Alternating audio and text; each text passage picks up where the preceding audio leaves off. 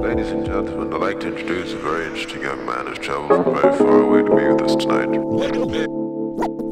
Ladies and gentlemen.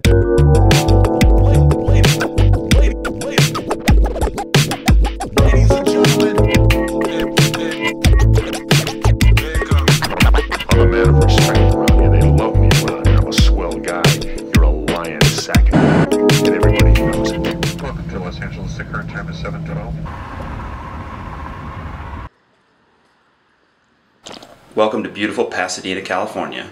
Alright, I made it. Not too bad. And I got coffee. So I'm here today and tomorrow visiting the Caltech Astronomy Department.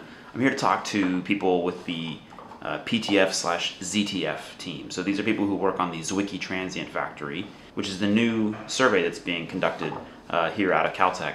Survey the night sky to look for transient or variable objects. So I'm really excited about this survey. I actually originally applied to work here uh, out of grad school. Right in the frenzy of uh, job application season, um, I actually ended up taking the job that I have now um, with the NSF fellowship. So ZTF has just come online in the last few months and is now in survey operations, which is super exciting. Uh, and in a lot of ways, it's a precursor to LSST, which I've talked about a lot on this channel. So I'm really excited to come and be here for a couple days, learn more about what people here are doing. So I'm to talk tomorrow about flares and star spots and things like that that I've been studying in Kepler. And I'm to drink a lot of coffee.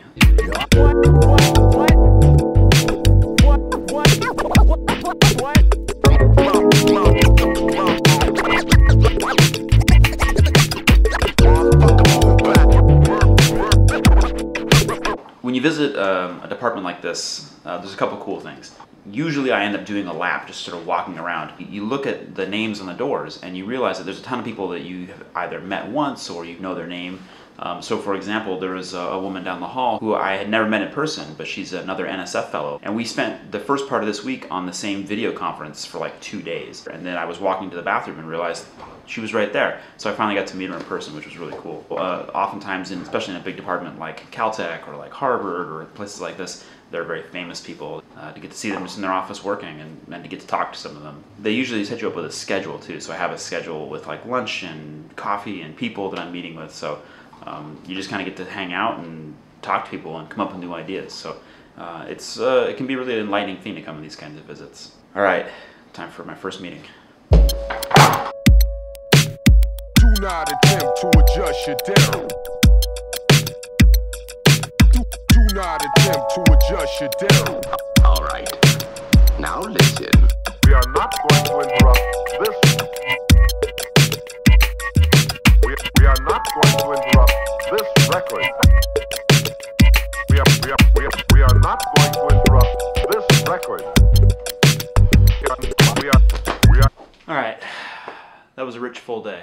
I got up at three o'clock in the morning to come to California, but I was in the office by about 8:30, 9 o'clock, so not too bad. So I had a really great day. I got to meet with a bunch of people who I haven't met before, but whose work I admire, and uh, it's really uplifting when you're going somewhere and people who you admire are saying, "Oh, I've read your papers," or "What do you think about this thing?" or "What are you working on next?" or "What you know, what are you excited about?" And it's exciting for me to ask them what they're excited about and what are the things they're thinking because people often will be really honest with you about the things that they're working on, the things that excite them. It's not just trying to find new collaborations and um, and learn new facts and read new papers.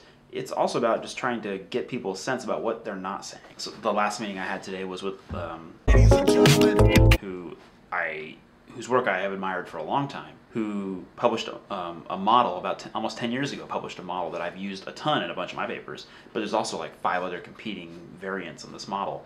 And I was able to ask her, what version of this do you believe the most? And she said, oh, I, this paper I think is actually the best prescription so far. And that's really helpful. Like, you're not going to find that written down in a paper, but it's an expert opinion that is nice to have. And that's some of these sort of insider pieces of information that you're looking for when you're trying to meet people and get to know them and drink coffee with them. So my plan tonight is to kind of walk around Pasadena a little bit. Uh, I also have to write a short talk, something kind of informal to sort of talk about my work, maybe show some slides from my upcoming paper. Uh, probably go to bed a little bit early, and then I've got meetings starting in the morning. I have a five o'clock flight home. Um, nice short trip.